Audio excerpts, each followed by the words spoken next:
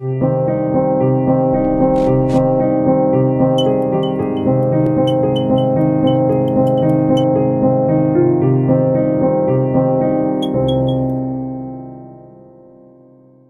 timbul fitnah.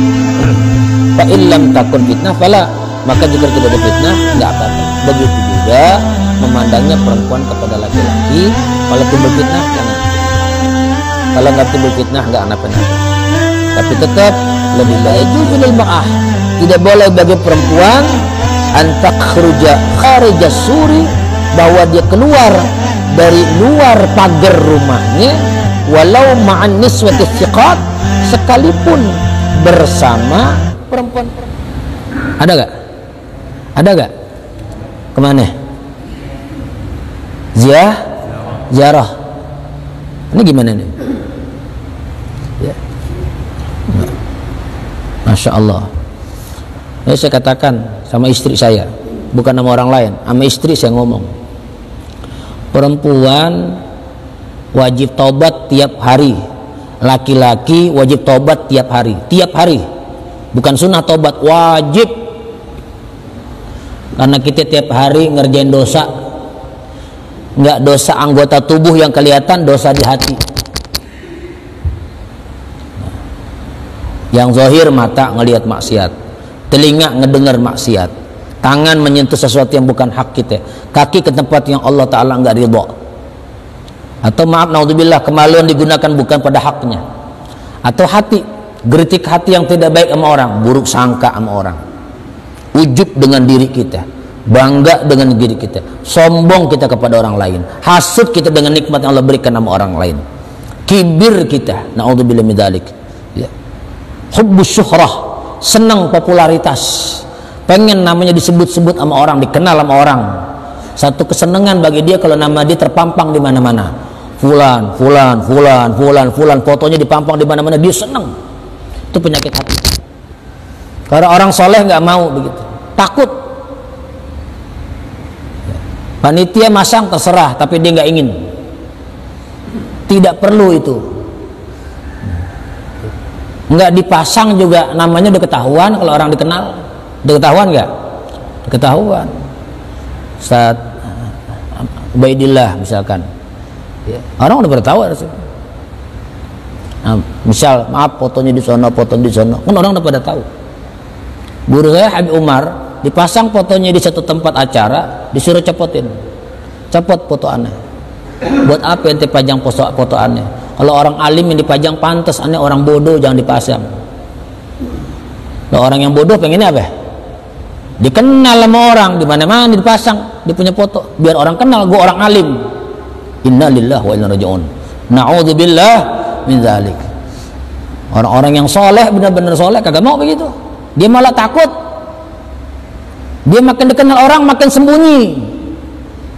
Lihat orang-orang udah solehin makin dikenal makin sembunyi. Tapi makin sembunyi Allah makin perkenalkan Allah makin viralkan nama dia di hati hamba-hambanya. Allah berfirman idza ahabballahu 'abdan qala li jibril ya jibril ahibbu fulanan fa inni uhibbuh.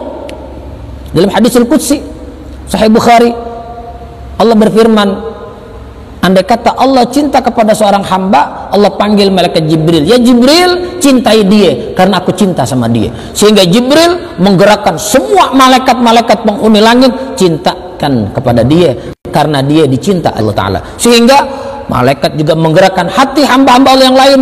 Kenal tidak kenal. Satu daerah dengan satu daerah. Satu bahasa kah tidak bahasa kah? Lain adat kah lain tradisi. Datang nemuin dia. Kenapa? Allah yang memviralkan. Itu murni dari Allah. Lain itu. Ini kalau dari kita sendiri kitanya pengen dikenal.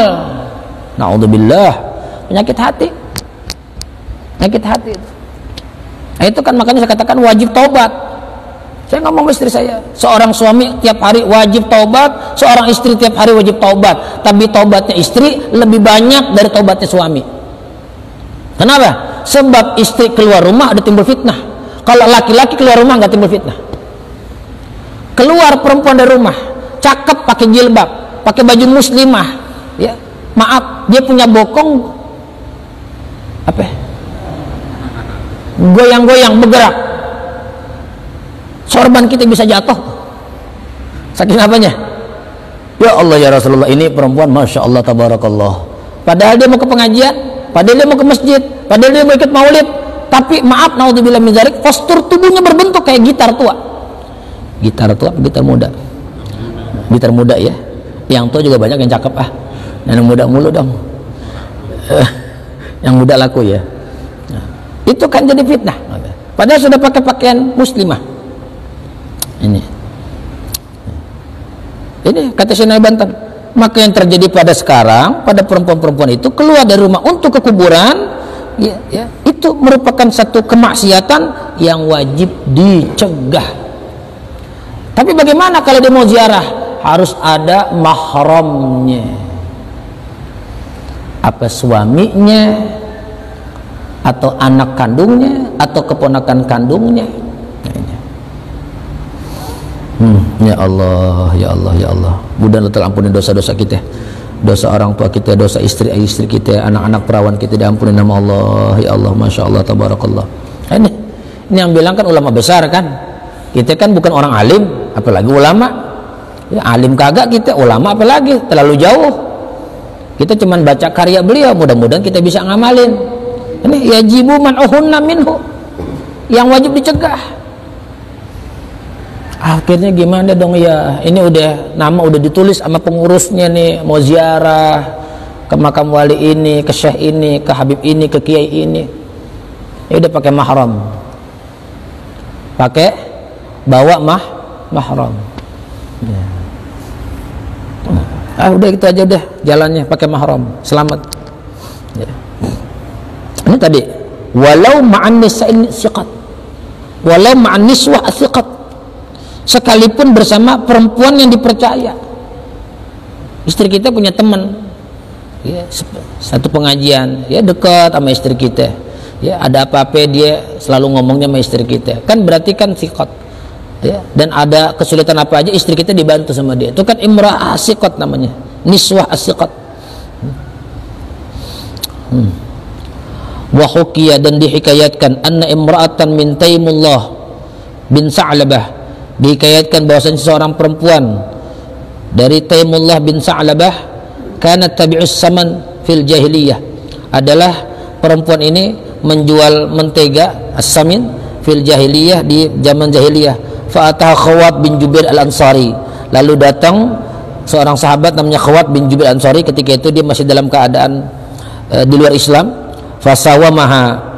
Lalu dia menawarkan samin tadi menawarkan mentega tadi fahallat tahya mamlu'an bisamin. Lalu perempuan tadi ya, yang dari Taimullah bin Sa'labah tadi mengisi uh, tempat ya, kalau bahasa kita mungkin plastik diisi dengan samin karena tadi laki-laki tadi pengen beli samin pengen beli mentega. Faqala amsikihi. Lalu kata laki-laki yang jualan tadi ya kata Khawat bin Jubair al-Ansari amsiki pegang ini. Pegang ini. Hatta anzura ila ghairi sehingga aku melihat kepada yang lainnya aku pengen lihat lagi yang lainnya samin-samin yang lain mentega-mentega yang lain.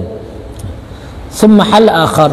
Kemudian khawat bin Jubia tadi naruh lagi ngambil lagi mentega ditaruh lagi di tempat di plastik misalkan.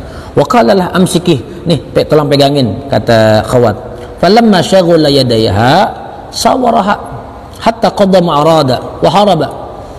Sehingga si perempuan tadi sibuk megangin megangin mentega yang oleh khawat bin Jubair Ansari tadi sawaraha. Ya.